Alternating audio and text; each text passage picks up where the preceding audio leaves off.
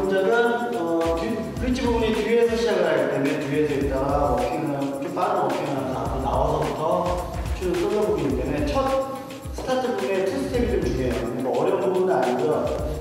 그냥 워킹을 one, two, three, four 하지 마시고 처져 있던 부분이기 때문에 발을 뒷발을 빼면서 and one 몸을 밀어주셔야 돼요. six, seven, eight, and one, two, three, four. 이렇게 four 또는 단다고 목자를 날린다는 쳐주시면 돼요.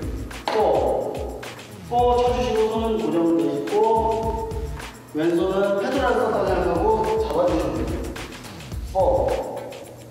그 다음, 그 다음으로는 머리와 손을 같이 튕겨주면서 5, 6, 카운트요. 5, 6, 오른쪽 보면서 7, 8 정면.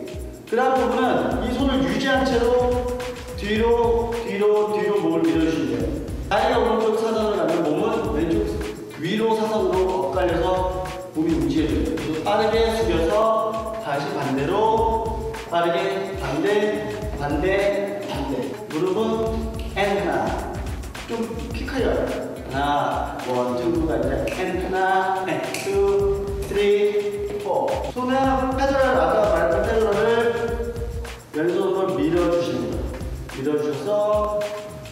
오른발 발가락 축으로 풀어주고 손이 바뀌면서 오른손이 머리에 터치가 될 때 고개가 이동하는.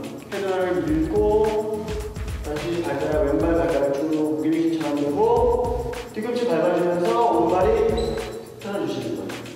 다시 해보겠습니다. 10, 8, 1, 2, and 3, 4, 5, 6, 7, 8, 1, 2, 3, 4, 1, 2, 3, 4.